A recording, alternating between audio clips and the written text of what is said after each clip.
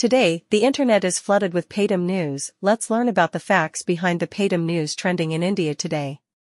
Recently, Reserve Bank of India barred Paytm Payments Bank from conducting certain operations following a system audit report and subsequent compliance validation report of external auditors. The Indian Central Bank on Wednesday, in a press release, directed Paytm Payments Bank Limited to stop new credit and deposit operations, top-ups, fund transfers, and other such banking operations after February 29 of 2024.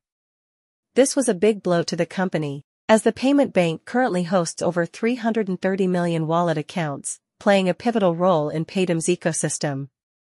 What will be impacted, does you need to worry?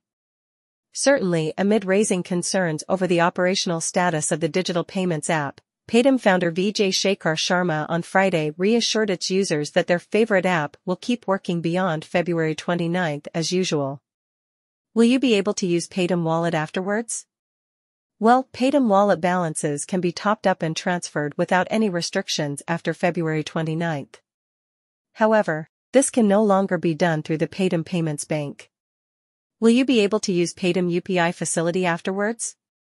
Certainly, if, if a user's UPI address is linked to Paytm Payments Bank, transactions will be restricted after February 29. However, customers with UPI addresses linked to other nationalized Indian banks can continue making transactions after February 29.